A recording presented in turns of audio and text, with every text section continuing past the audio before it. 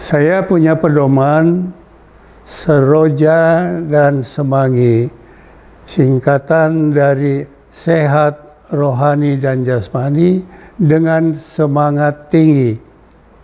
Untuk menjaga kesehatan, kita harus uh, memelihara mempunyai pola makan sehat.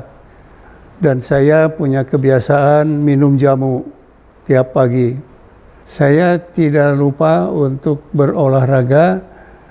Pagi-pagi sudah jalan kaki kurang lebih 30 menit paling sedikit. Dan saya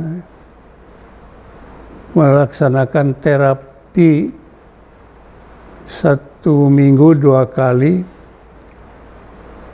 Menjaga kesehatan juga dengan cara silaturahmi dengan kawan-kawan pensiunan, dengan anak cucu dan cicit. Cucu saya 11, cicit saya 8.